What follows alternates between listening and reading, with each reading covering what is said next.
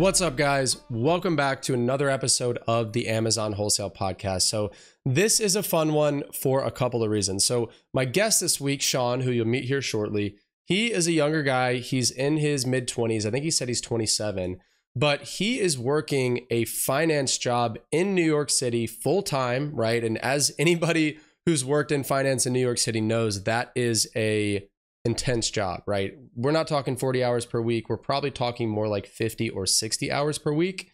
Yet, he's got a multi seven figure Amazon wholesale business that he's running literally on the side that's quite honestly not taking him that much time out of his day or out of his week to do. So, some of my favorite takeaways from this episode are how he balances his job with his Amazon side hustle, how he still has time for friends, for social activities, for going out to dinner, for going out, all that good stuff that you do when you're in your 20s. And I think he's just got a cool perspective on the business, where he's going with the business, and a lot of good, just like practical tips and practical gems for people who are in the trenches, who are actively looking to grow their business, especially those people who are working a nine to five while doing Amazon on the side. And if you guys know my story, a lot of you do, but some of you might not is I started Amazon wholesale on the side while I was working in corporate sales. I was a salesperson for IBM and I had a lot of free time. So I was able to build my wholesale business on the side while I was working my job and uh, eventually build that into um, you know what it is now, which is over $12 million in lifetime sales. I've been full time with it for multiple years. And I honestly think that for me, I had to leave my job just because I was so fed up with it and I really uh, did not like the corporate lifestyle. But for others, like Sean, who you'll hear from here shortly, he said that his goal is to quit his job and he actually plans to here soon. But for a lot of people, they can they they do a great job working their job and operating the Amazon business on the side for a long time. A lot of people have no desire to leave their job, and there's nothing wrong with that. So again, I think you guys are going to get a lot out of this conversation. Listen up, take notes, listen to it a couple of times. And guys, if you like the episode, do me a favor, just leave us a quick five star review on Apple or on Spotify, wherever you're listening to this. Or if you're watching it on YouTube, uh, feel free to leave or just like the video, right? And subscribe for more because we come out with one of these every single Wednesday and have been for the last, I think, 78 weeks, whatever episode this is. So hope you guys enjoy and I'll see y'all soon. Thanks. All right, Sean, welcome to the show, man. We've been going back and forth for a few weeks now, trying to get you on here. Uh, I know you and I have been going back and forth on Twitter for a while, maybe even a year more, probably since I first got onto the platform. And I know you're a younger guy who's got a full time nine to five job, working finance in New York City, which anyone who's been there knows that's not an easy role. And you're still operating a multi seven figure per year wholesale business on the side. So, wanted to welcome you to the show and wanted to kind of get into your background first and foremost. Thank you so much. Uh, really excited to be here, Corey. So, my background, I would say, um, from Rochester, New York. I went to undergraduate at High Point University in North Carolina, and then I graduated and started working full time. Uh, I uh, got my MBA and started my Amazon business about four years ago. So I didn't realize you went to High Point. I went to Elon, which is not too far, and uh, I had some actually quite a couple of buddies that went to High Point University as well. So you might we might even have some mutual friends there because I know we're around the same age. So that's small world. Um, but you, so you took the more traditional path of you went to college, graduated, and then did you immediately go to get your MBA, or were you working first? Can you kind of elaborate on that part? So I immediately went to go get it. I was working uh, actually with my dad at the time, so I did the PMBA. So basically, you work during the day and then you go to school at night. Okay, got it. Yeah, I've got a buddy who's doing that right now here uh, in Charlotte. He's doing it the same program but with Wake Forest, and so that can be a really good way to yeah at least have some sort of income coming in while you're still earning that MBA. Now let's talk about at what point did you start the Amazon business during this whole process? Did you start it in college? Was it after college? Where did that start? So I started in e-commerce um, right after COVID. So I started a PP company in Shopify. So I also started my Amazon uh, account then as well, but I didn't start uh, like actually making sales or seriously sending inventory to them until about 2021. Okay, so you really haven't been at it that long in the grand scheme of things. And so you're saying you got your start in e-commerce with you set a Shopify store selling PPE. And so for the listeners who aren't familiar with that term PPE, correct me if I'm wrong, I believe it stands for is it personal protective equipment? Yeah, exactly. So we were selling uh, like masks, COVID tests, and then we, I was basically just you know sitting around calling up companies, uh, asking them, you know, hey, you, would you switch your supplier over to me? Here's my pricing. Oh, that's sweet. So you, I mean, you really essentially formed a, a, PPE distribution company during COVID when these products were super in demand, super hard to get. So how did that go? i have actually not. I've heard of people who capitalized on those times by selling those products on Amazon, but I haven't really heard of anybody who set up that business to be mainly off Amazon, right? Because again, you were essentially a distributor of these products as opposed to a retailer. So what did that process look like, and how well did that go? So first I started uh, like importing like masks in bulk from China. I would say overall it was like a great like introduction to e-commerce. Like it kind of like boomed and bust. Like probably our biggest month in Shopify, we did like maybe like 120 grand. And that's good for a new Shopify store. Yeah, I mean it takes off. Like we had a lot of like contracts and deals and stuff that I was sourcing off am off Shopify as well. So like it really like boomed and bust, but like I like Amazon so much better because it's way more consistent and like drawing traffic to your own site is like incredibly costly and difficult. Yeah, extremely costly. And that's that's one of the reasons why Amazon is so attractive as an e-commerce platform because we don't have to drive our own traffic, right? Traffic is built right into the platform to the tune of no exaggeration, hundreds of millions of monthly views, right? And on across the platform as a total. And I think it's funny when people complain about Amazon fees, right? With Amazon fees typically being roughly 30% of of your revenue. Um, but in reality, it's we're paying for those eyeballs, right? Th- those do not come free because if you were selling on Shopify where you're not paying Amazon fees, you're going to be paying a lot more than 30% to get traffic to your site and to get people to convert. So that's kind of the trade off there. And I'm glad you made that point because that's really important. And I think a lot of people kind of gloss over that fact. Yeah, I think in the grand scheme of things, the Amazon fees are actually quite cheap, and right. also there's nobody who's paying less fees than you. So like essentially, we're all locked into the same game, and nobody has an advantage. Um, so the the real cost just goes on to the consumer.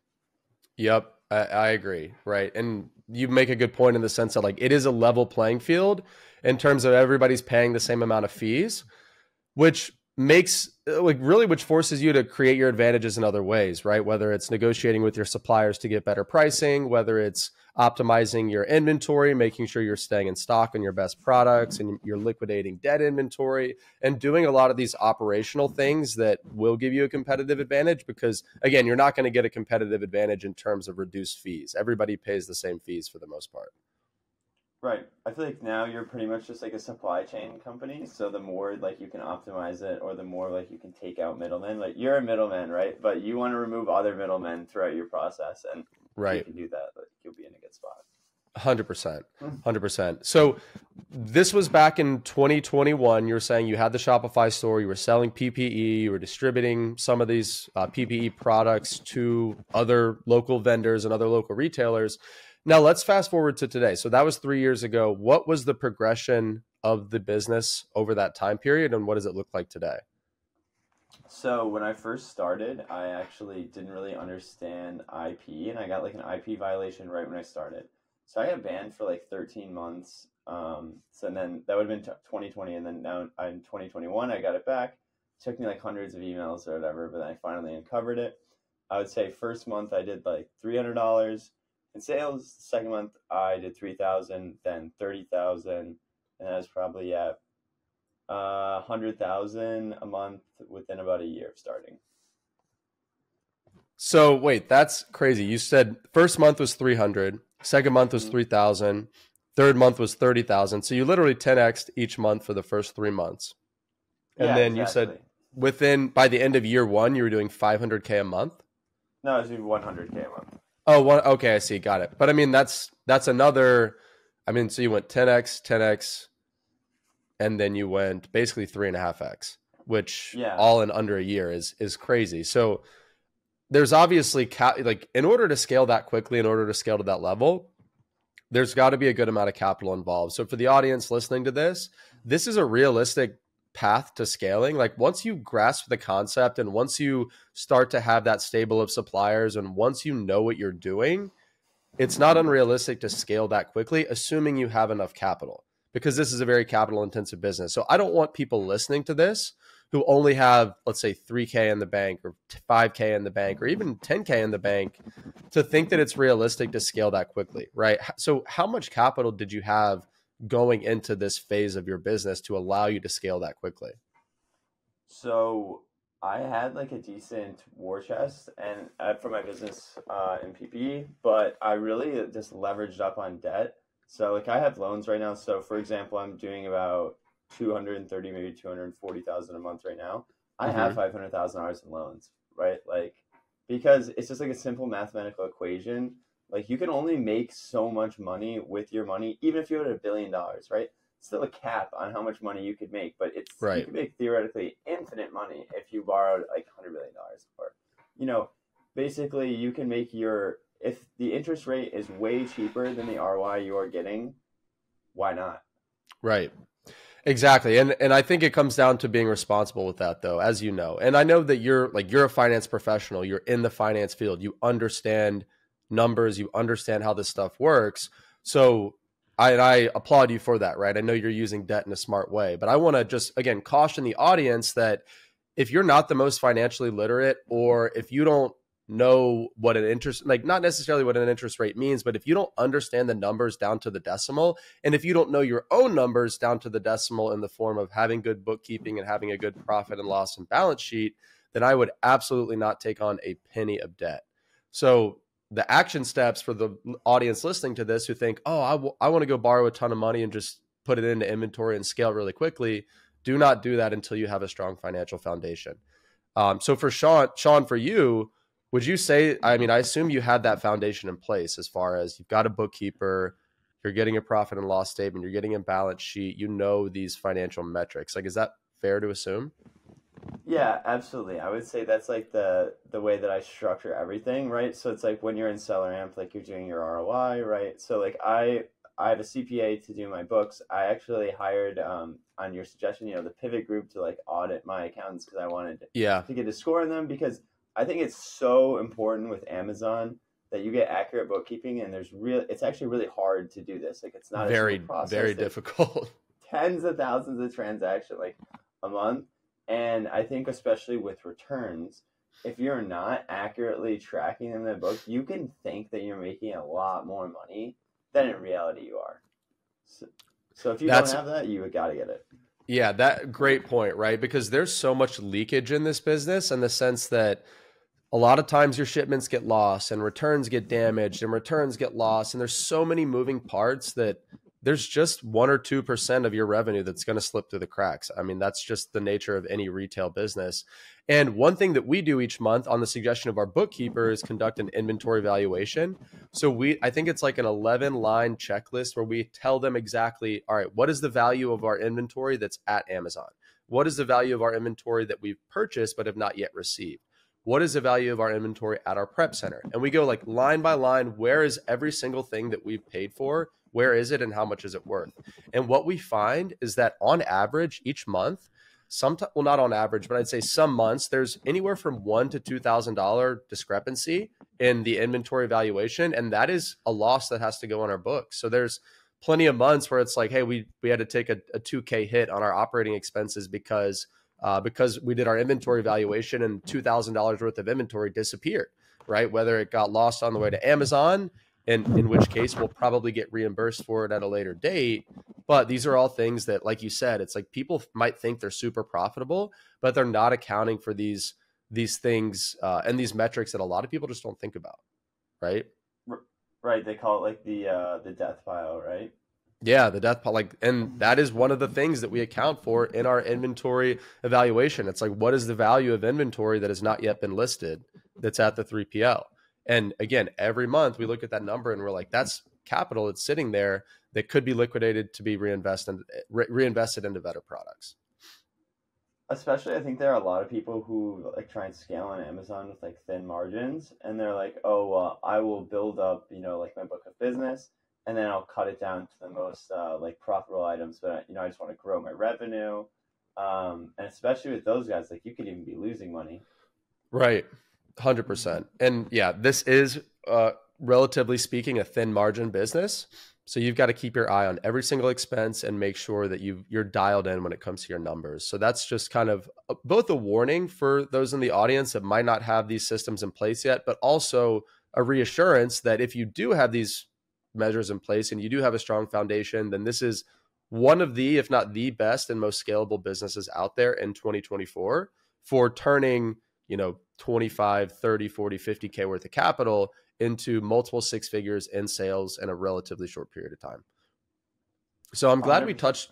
I'm glad we touched on the financial piece there. And one of the things we discussed uh, before we started recording, Sean, is how you've got a full time finance job in New York City, which I'm sure is at least 40 hour per week commitment, if not more. Um, and you've got your Amazon wholesale business, which I think you said is on track to do about $2 million this year. And you've still got free time for friends, family, just kind of doing what it is that you want a lot of the time. So let's touch on that and how it is that you've structured your business to allow you to not have to be operating at 24 7. So, what does the business look like from that perspective? So, from that perspective, um, I have one employee, uh, and his name's Rick. He's the man. He's awesome. He's out of Philippines. Got him on onlinejobs.ph. Yep. Um, he basically runs the entire business with my direction. Like I will WhatsApp him and tell him, you know, give him some general guidance, or I'm saying, you know, did you follow up on this? Um, but like he takes ninety percent of my actions. Um, so I've had him on for about uh, almost two years now. I think really just setting up your business where it's scalable, where your VA is kind of like an extension of you, and yep. he's also thinking the same. You know, he's on the same track um, I don't think any of those guys ever build your business, but they're great um, for like following instructions and you know just being an extension of you and always being present. So I would say get a VA. That's the number one way, and then really set up your own processes, document them in SharePoint, take videos. That's definitely something I learned from you, Corey, um, and it's made uh, everything so much more seamless and easy to deal with your point about the VA being an, ex- an extension of you is spot on because what you want in a perfect world, your VA, and when we say VA, we use the term VA, right? Just because it's something that most people are familiar with. But in reality, this is not just, these people aren't just VAs. These are legitimate employees that are handling, in our case, a multi million dollar businesses.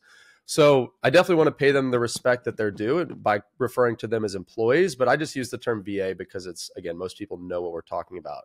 But again, with your quote unquote VA being an extension of you, you want them to get to the point where, like you said, they're not just taking orders, they're actually making decisions the way that you would make decisions.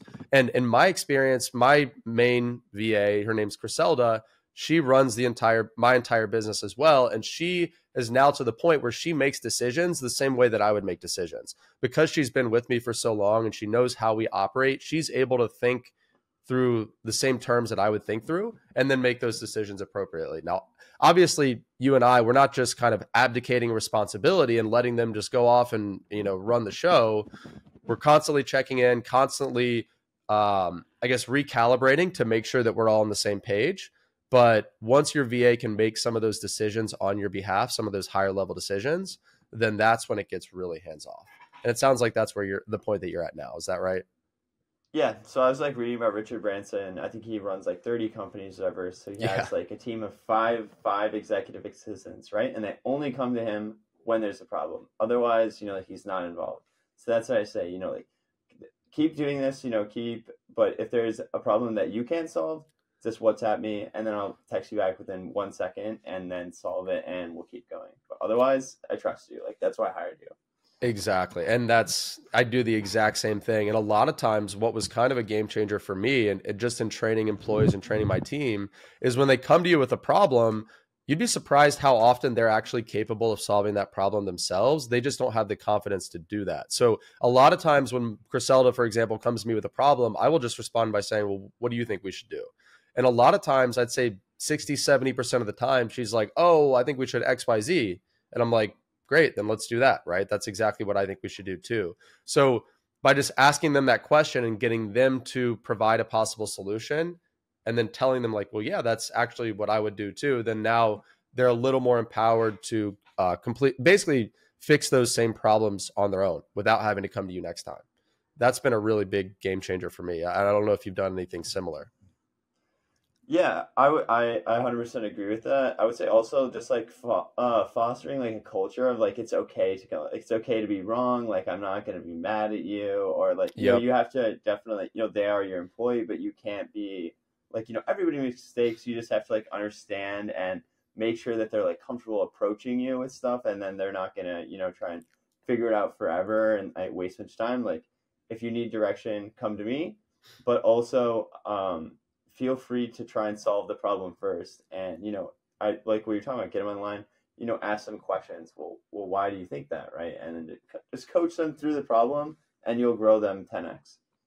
Well, and that's a great tip, especially for folks from the Philippines, because that's just their culture to not want to bother you, not want to intrude. They want to do a good job. They want to appear competent. So a lot of times they are going to be hesitant to ask questions, especially the tough questions. So you're right. It's like fostering an environment where it's okay to make mistakes. We're here to help each other. We're here to give each other feedback. Once they are bought into that and they see that, okay, that's actually how we do things around here, then they're going to be way more comfortable in sharing those problems and in giving feedback. And that just makes them makes them better and makes the team a lot stronger. So yeah, we're we're on the same page there for sure. Now, I want to touch on uh, again. You you've got some of the you've got a lot of free time with which you can dedicate to friends and hobbies and just doing all the things that somebody in their twenties living in New York City would do. So, but how is that exactly right? And what I mean by that is, how do you have Rick set up, and what do you have him doing to where you're not having to put in you know two, three, four, six hours a day into this business? And you're and remind us how much you're doing per year in revenue now. Is it right around two million? Yeah, so in the last 12 months, I've done 2 million. Uh, I think I'm going to finish the year at 2.5 million for 2024 because I think we have a big December. I think I've projected out correctly. Nice. Um, but w- what I'm doing basically to make my business scalable and not get bogged down. So basically, you always want to be working on the business and eliminate working in the business whenever possible. It's just you know, like a core principle of entrepreneurship. Um, but basically, I would say uh, my most common task for my VA is creating an ROI sheet. I'll say, you know, a contact supplier, CC him on there um, for the first time, you know, and then I'll have him uh, follow it up from there on. Um, I'll just say, hey, I'm super interested in starting a, uh, in partnering with your brand. I'm interested in XYZ SKU, you know, like a thousand, five thousand, ten thousand please let me know if there's any more um, bulk discounts or if this doesn't meet MOQ. And then he'll run that in uh, Excel. And then all I'm basically doing is like directing the capital, either saying yes, no, or look over there. You know, I'm not going to do any of the technical work. So that's I love how you describe that, right? It's like all I'm really doing is directing the capital, and that's how I have my business set up as well. So again, same way, same thing you're doing. It's like I have, if we need to contact a new supplier, for example, uh, I have Ralph mm-hmm. sending that opening email. And then if we get pricing, then Griselda will run the pricing. She'll put together the PO. And all I have to do is say yes, no, or change this or add this. Right. And then from there, once we place the PO, they're then taking, they're getting the shipment shipped out, they're getting it sent to the prep center, or they're getting it sent straight to Amazon. And then they're getting it obviously into Amazon's fulfillment centers from there. But that's a great way to look at it, right? Because truly at the end of the day, the process of buying, or in your words, directing your cap- your capital is how you make your money. That's what actually gets you paid. That is the single most important task in your business, and it's not even close. So if you can basically do what you did, which is outsource every single aspect of the business except literally deciding what to spend money on and what not to spend money on, then like that's the most freeing you can get in this business. And then if, to take it a step further, which is something that neither you and I have done, is you could then hire, you know, a general manager or a CEO so that then they are now the ones basically directing that capital and then uh, you know you're kind of whatever you want to be at that point, right? Chairman of the board or whatever you want to call yourself, and um, and really have a business that runs autonomously. So that's that's kind of this the path to making this business as hands off as possible. And you run th- your products through 3PLs and you have your suppliers ship straight to Amazon, which is exactly what I do, which is the really the only way this model works in terms of being fully hands off. Right? Yeah. So you can get some nice, uh, you know, passive gain tax uh, incentives for hiring a CEO as well. But um, I was going to say, yes, sending it directly to Amazon is such a hack that I learned from you because I was Mhm. initially scared to, you know, tell companies that I was even selling on Amazon if I didn't have to. You know, I just say, hey, like I'm a wholesale distributor, and do you have any restrictions? You know, basically fleshing out like, uh, can I sell on Amazon or not, without directly coming out and say it. Because you know, as you say all the time, a lot of companies don't want to work with like quote unquote Amazon sellers Right. Exactly. Um, but they've been way more open to it than like I could ever imagine. It just I'm telling you, mind. it's not people think that like people think that like 99% of companies don't want to work with Amazon sellers and it's more like 50%, right? Like there's there's plenty out there that don't care. Right. They just want to take uh, the money on the PO. Honestly, like it seems Right. like as long as you're a big, big enough, like I get why they don't want to work with like smaller, like more annoying sellers. Like, oh, can I submit like a fifteen hundred dollar PO? But yep. it also blows mind how little a lot of companies that are doing a lot, how little the companies know about their Amazon presence, especially for Right. ones that aren't selling it directly themselves. So true. And I mean, again, your point about like a lot of companies, they don't really care that I sell on Amazon. They just want to process the PO. Now, this is definitely going to be more common when you're working with distributors because obviously distributors, they don't own the brand. So they don't really care. They just, they're there to sell product.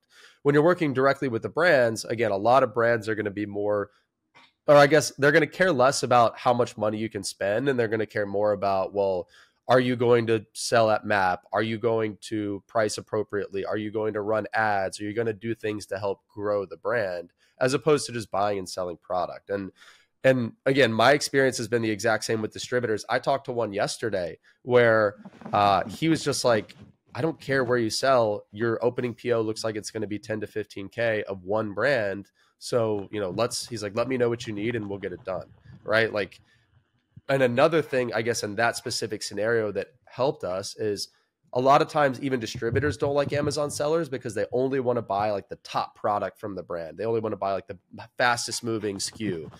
Well what helps is when you go to submit that opening po or just even to tell them the products that you're interested in make that a pretty wide list. Tell them like five seven ten different skus from a given brand and throw in some skus that are a little slower moving or they're not you know the top 10% of their products. Because the distributor is going to see that and be like oh okay well these guys are interested in carrying more of the full line as opposed to just the the hottest products right? So maybe these guys are going to help us move some of those mid-tier products and it just helps your chances. Would you say have you had luck doing anything similar Um, yeah, absolutely. Um, I would say sometimes I feel bad though, because I only, I'll like, I do the same thing where I only buy like the top selling product from a company. But I feel like, um, also once you find really good products in, like really good wholesale products like that, you can just look on the competition or whatever, and you can get so many other ideas just by like reverse sourcing other people that are also on the listing. And then you'll get into like a whole niche, and then you'll see like everybody who's in the niche because really not that big, right? And then you'll see there's like five to ten other wholesale guys, and then you basically have unlimited leads like for the rest of the time. So yeah, that's such a hack, and I'm I'm doing that exact same thing right now. So I've and I've been kind of keeping this under wraps, but I have been starting to talk about it a little more. I'm doing a sixty what what did I say sixty k in sixty days from scratch with wholesale. So basically, and I've got it up on my whiteboard here. I'm like, how many brands have I contacted? How many applications have I submitted? How many have been approved? How many POs have I placed? And you know what I found is that um, of those 16 that I've contacted, I've only opened one account, and that's going to turn into one PO. So it's like for every 16 a contact, it's like one PO. But um, you know, I bring that up because one of the brands that are like all my really all my leads up to this point, I found a storefront on Amazon called HVAC Pros, and they're like uh, you know, probably five to seven million dollar per year FBA seller. I took his storefront, I plugged it into SmartScout. I see that he carries like 300 different brands, and I'm just going down his list and calling the brands one by one by one. And I've got probably three or four other leads in the pipeline of those 16 that are either manufacturers reps for that category or they're distributors or they're the brands themselves that are looking like it could be a legit opportunity. And I'm going to I'm going to finish this whole series just from this one guy's storefront. And I'm like, you know, 3% of the way through it and I've I've got I had found 16 qualified leads already. So like it's it's such a hack. It's really once you know what to look for, it's so easy to find like hundreds of qualified brands. The hard part is is literally just calling them on the phone and then staying on top of them. That's it. It's really that's it. Right. Like we were talking, how do you manage your time, right? So I see all of these guys like on Twitter, they're like, oh, I'm sourcing like all day, or you know, I've contacted like 600 brands, but none of them want to work with me. Like these are like the typical like excuses, right? For right. But um, if you if you go into like a warm lead, like if you're actually like reverse sourcing, like you're saying, and you're seeing like, okay, here's my criteria. You know, Amazon's not selling it, and the brand itself is not selling it on Amazon. Okay, so everyone here is a third party. You could be that third party. Like you know, it's it's pretty simple. Yeah, that's that's all I'm looking for. So again, I'm going through this guy HVAC Pros storefront and I'm going brand by brand by brand and every single brand all I'm doing is I'm opening it in a new tab and I'm looking for one product that meets three criteria. It's not dominated by Amazon. It has existing FBA competition, right? Meaning it's like a third party friendly listing and it's selling enough units to get me excited. For most products that's like 50 to 100 units. And for even higher ticket products, it might be 20 or 30 units, right? If we're selling selling a product for a few hundred bucks, because you're going to be making 40, 50, 60 dollars profit per unit. So really that is my only three criteria. If I find one brand that has one product that meets that criteria, then I call them. And the reason you hear of the people that say, "Oh, I I reached out to 600 brands or 600 suppliers, and I didn't find anything." It's because they're emailing them. Nobody, like you you could have one brain cell and call on the phone mm-hmm. 600 brands and you're going to have like 10 to 20 profitable accounts. Like it, if you really truly called on the phone 600 qualified brands, not just any brands, you would have a probably like eight figure wholesale business. Um, and again, in my experience, in the last what five days, I've called on the phone 16 brands. It's resulted in one, what's going to be one PO, and then three to four other legitimate leads that could pan out to be um, a five to 10 KPO with 16 calls. It's just because I called them on the phone. So, and I not to beat a dead horse, but like I'll be saying that until until I don't get any DMs of people saying that they contacted 500 brands and they didn't find anything, which I feel like will never stop happening. So I'm gonna keep saying that. I get excited now when I uh, like start a brand account and they're like, "Oh, nobody's ever asked us to ship directly to Amazon for them." Like, perfect, right? Because I'm gonna be lower than their cost because they're all gonna have to prep it. So that's how you know that you're getting in like good with a supplier that um, not a lot of people know about. And you're you're right about what you said. It's like sometimes you just got to ask. Like they're like, "Oh, nobody's ever asked us that." Yeah, we'd be happy to do it. And it uh, most people assume that it's like, "Oh, I don't want them to know I'm selling on Amazon," or "I don't want to rock the boat. I don't want them to say no." It's like, what's the worst they can do, right? And we always frame it this way: is like, "Hey, we'll pay for the shipping. If we, do you mind if we just send you labels and you can just slap them on the case packs?" And and I'd say most of the time, like a majority of the time, they're like, "Oh yeah, that'd be great." And sometimes we've even again offered to quote unquote cover the shipping by sending them our labels and then we've got an additional discount on the product because now they're not having to pay for the shipping. Because it might have been a situation where like we were getting free shipping they were paying for it now we are so now they're able they're willing to give us an extra you know 5% off on the order or something like that. So it's it's truly um, a game changer when you find a supplier that will consistently ship directly to Amazon for you. It's awesome. Yeah, I think you can also make you can also make a few points um, with uh, by paying via wire and asking for a discount that way. Yep. Or I mean, if you can use a credit card, right, and they're not going to offer you a discount, then by all means rack up the points. But that's just another little easy way to shave shave money off. Yep, so true. And I personally, I'm allergic to paying with a wire. I will never, really, I'll never pay cash. Uh, because most of the stuff that we're like, so for example, most of our vendors don't take credit cards, so we'll have to use Melio, which charges two point nine percent. But if we use a uh, Ch- what is it, Chase Ink. Business Premier, which is two and a half percent back, so then I'm getting, so I'm basically only paying net 0.4 percent on the Melio fees. If I'm paying with a credit card, it's a write off. Um, the cash back is tax free, right? So it's basically like I got more than that 2.5%. And it nets out to be a, a huge gain for me mm-hmm. personally and for the company. And we're only going to use Melio on products that we're making a decent margin. Like, for example, yesterday we bought 90K worth of one product, and our gross margin on that product is like 16 to 17%. So, you know, if I'm only having to pay net 0.4% to use Melio, I'm still over a 15% margin, which, which is more than acceptable for me to not have to part with that much cash right away. Absolutely. I think that's uh, really good. I think that's well above like standard market ROI uh, in wholesale, I mean, margin. Yeah. Well, this is, I mean, this is a good product that we've sold for a while. So we felt comfortable with it. And we're just like, you know, the chances of this thing going to break even are very slim. So we're willing to, again, pay the, the fee in order to not have to part with the cash and get a little bit of the cash back as a result. So, and that's definitely one of the big benefits of this business is the credit card points, the cash back and all that good stuff. Yeah, I, I have so many. I've gotten like at least twenty thousand dollars this year in cash back. Like when on vacation to Spain, it was awesome. Like if you figure out, I think the Chase uh, Business Premier one is the best. Oh, it's like, it's a hack. I mean, you those rack up so fast, and like I don't even have a very good limit on that card at all. But I've been I haven't touched a chase point the whole year, and I just hit like I'm at like 1.04 million points or something like that, and like they're just sitting there. And the Capital One Spark cashback is is what I will cash out every time it hits 5K. So I don't I don't let that build up quite as much, but um, both of those point ecosystems are, are great and will pay for all your flights, or they'll just put some extra cash in your pocket each month just from buying inventory. So a huge huge perk of this business. Yeah, like so I put it I put it like an eighty one thousand RPO on it the other day. It's like that's instantly twenty two hundred dollars in tax free money. It's like, and, and it goes into your goes into your personal bank account too. Like I want to make that clear to the audience here, right? Like and listen, I'm not a CPA, I'm not a tax professional. I think at this point most CPAs are in agreement that you don't have to pay taxes on cash back and on credit card points. I think that's the case. I mean, I think most of them are in agreement on that.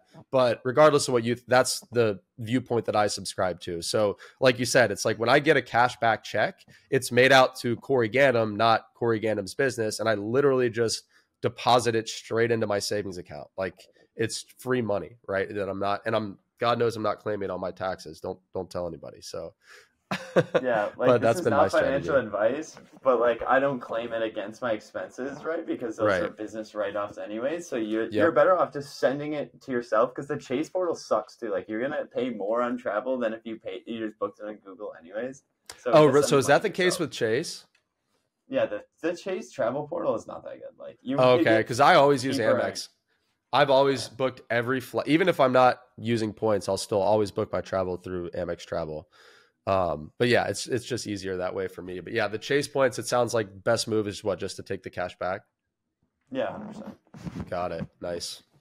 Well, cool. So as we as we start to come to a close here, one of the points I did want to touch on is just general advice for younger entrepreneurs because I know you're in your 20s, you're 27. You started this business what three ish years ago, so around when you were 24. That is the age at which I transitioned to wholesale. So uh, we both, I guess, technically started wholesale at the same age. So really, the question is, like I said, any general advice for younger guys that are either trying to get into this business or they're just trying to get into business in general, and uh, you know, and, and might be a little stuck or unsure of what to do next. Yeah, so I would say the biggest thing in, in business is uh, persistence and longevity. So there's all these guys who are like, oh, I get, you know, I got to make like X amount of money in my first year to like keep going. Um, like business like if you want to be an entrepreneur like you have your entire life to do it. Um so key start now. Like take the action today. Um but also don't quit. Like if you because you're gonna eventually run into it's shit is going to get hard. And there are a lot of people who will just like instantly give up and they'll pack it in that you know well oh you know at least i tried. Like, no. Like if you actually try your best and you keep coming back day after day for multiple years like you'll be really successful in amazon as like there's not a lot of people who are too dumb like to conceptually like get this uh, concept. It's not that advanced. Like you're just you if you're new, it could just be overwhelming. There's a lot of you know uh, like jargon or phrases that you might not be familiar, but you will get to it. Uh, just like don't give up before you do get to it, because it, it would a lot of people will ninety percent of people will give up. I'd say like 98%, right? And and it really comes down to that tenacity and that persistence like you said. Again, I mean even as I'm starting the the beginning of the 60k and 60 day challenge, sitting down to make those calls, I'm only doing 3 I'm calling 3 brands per day every day for 60 days. I'm never doing more than 3 in a day, right? And it's it's the consistency and it's the tenacity to again follow up with the previous ones and just sit down and do the 3 every day. And I remember yesterday I was sitting down to do this. I'm like, this sucks. Like I, I don't want to do this. I'm like, how did I do this for months and months and months on end? And I'm sitting there thinking, I'm like, if I'm having this thought, you know, what is somebody that is newer to this space that hasn't had success with it? Like, it's going to be way harder for them to to stick, stick it through because they don't see the other side. They haven't seen the other side yet. So, I mean, like you said, it's persistence, it's tenacity, it's just not quitting. And when it comes to Amazon specifically, you don't meet many people who have been selling on Amazon consistently for more than two years who are not doing it successfully. Like two to three ish years kind of seems to be the baseline for this business of like stick it out for two to three years and you're going to probably do really well with it. And that's it. And again, most people just don't make it that far. It, it sucks, but we, you know, we see it every day. And so that's all it takes is just like hang in there and learn every day and, and join a community of like-minded people and all this good stuff. So do you have anything you want to add to that? Yeah, I just think it comes down to the hunger. Like I've taught a lot of people to sell on Amazon. Like I have a friend who's a Stanford MBA, right? And then I have another friend who, who works at like a communications company. Yeah. And the, the Stanford MBA is not nearly as good as the guy who works at a uh, communications company. And I'm like, cause he is already like making so much money. Like, uh, at Amazon, right? He's right. Uh, he doesn't like need an it. Edge software. Engineer. He's an Edge software engineer making like 500k a year. Like he doesn't care. But, right. Like, uh, the smaller one is like hungry, right? And he like comes back, and he's probably actually one of the best people I've ever seen like at Amazon and OA and wholesale. And it's just incredible to see like the difference because you know the one kid on paper is technically a lot smarter, but you know he's just not as hungry. Such good advice. Yeah, it really comes down to just like how bad do you want it. And if you've got a cushy 500k a year job working working at Amazon, then again, the chances of you being hungry are way lower. Now, there are those people out there that they've got good jobs and they they're just like I don't care, I, I want something different and they're going to go chase it. But like you said, I think most people wouldn't fall into that category and in my experience, it's the guys that didn't go to college, that worked blue collar jobs, that you know did construction or like something super grindy that are like the best Amazon sellers because they're like, yeah, I just I just you know did it until it worked, and so that seems to be the consensus. But I, I like the way you think. I think we're totally on the same page. Uh, and I, one thing I would ask the audience is, guys, if you did enjoy this conversation, if you're listening on Apple or Spotify, give the podcast five stars. It really helps get these conversations like the one with Sean in front of more people. And if you're watching this on YouTube, like the video and subscribe because we come out with a new one of these every single Wednesday. So, Sean, with that said, man, I appreciate the time. Where can people find out more about you or where can people follow you? Uh, you can follow me on Twitter. Uh, my name is uh, Saxon Senior. Uh, I don't post a ton like on social media just because I'm not uh, in the core space. But yeah, follow me on Twitter. Uh, and I appreciate you having me on, Corey. It was awesome talking to you today. I enjoyed it too, man. And guys, if you're listening to this, you can follow me on all platforms at Corey Ganim or on Twitter at Ganim Corey. So thanks, guys.